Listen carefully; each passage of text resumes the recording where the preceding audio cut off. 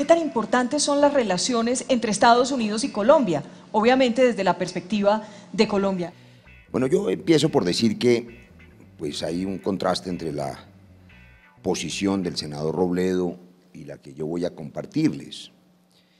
A mí me parece que mirar el espectro de todas las relaciones con los Estados Unidos a lo largo de estas décadas desde la óptica del supuesto sometimiento, la dominación, pues implica ya un sesgo enorme porque inclusive la cooperación internacional más noble termina siendo eh, supuesta como una dominación extranjera. Yo creo que ni tanto que alumbre al santo, ni tanto que eh, no lo alumbre, ni tanto que lo queme, ni tanto que no lo alumbre, dice el dicho colombiano.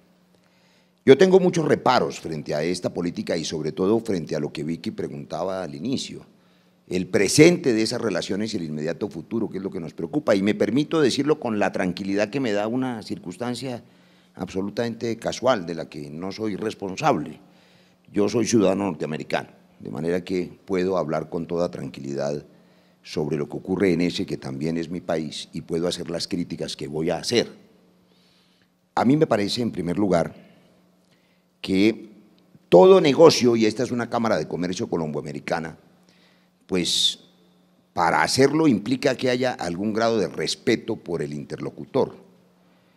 Y lo primero que hay que exigirle al gobierno norteamericano y particularmente a este gobierno es respeto por el interlocutor. Me preocupan unas características, unas muy viejas y unas muy nuevas para mal de esta relación colombiana con los Estados Unidos. Las más viejas, la narcotización de la relación. Eso es, pues se han escrito libros y tratados sobre ese asunto, pero para mí hay una verdad clara. Desde el 71 y desde que el presidente Nixon tuvo la mala idea para nosotros y la buena idea para ellos de establecer como geopolítica el invento de la prohibición y luego la guerra contra las drogas, pues Colombia ha heredado una guerra, una guerra ajena, una guerra extraña, una guerra inútil, una guerra costosa y una guerra que va a desaparecer por razones del mercado, tarde o temprano. Porque así como pusimos no sé cuántos muertos, Vicky, usted era una adolescente en Buga seguramente, pero veían las noticias, todavía no era la gran periodista que es, los muertos que poníamos en Colombia en la guerra marimbera, la bonanza marimbera, la lucha contra las mafias de la marihuana y ahora pues en California y en Florida vemos los avisos de Cannabis Investment. No era ni siquiera adolescente. Era niña. Bueno, y estoy seguro que aquí hay muchos empresarios, muchos empresarios de los que están aquí, que están ya invirtiendo en el negocio del cannabis, porque ahora es legal, porque ahora se vale, pero mientras fue prohibido, aquí pusimos los muertos y eso sigue pasando hoy con esa otra hoja, yo lo digo como médico, que por supuesto también es una planta medicinal, que es la coca.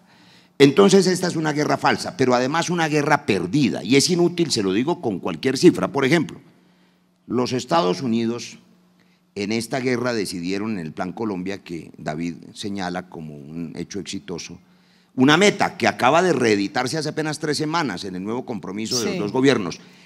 La meta era, lo recordó Robledo hace poco, y yo lo escribí hace varios años en algunos artículos sobre este asunto, disminuir al 50% la producción de coca, no era acabar con el negocio. Si usted disminuye la producción pues mejora el precio. Pero usted se me está adelantando todo el foro, no, déjeme escuchar no, a los pero déjeme decirle, entonces déjeme por lo menos mencionar los elementos sin desagregar. Pero está muy largo, Roy. Eh, entonces déjeme, solo se los menciono en 30 segundos. A ver, 30 segundos. La narcotización, primer problema. Sí, el, nuevo el, nuevo el nuevo aislacionismo del gobierno Trump, que por supuesto lo que hace es abrir las puertas a China y ha sido un error tremendo.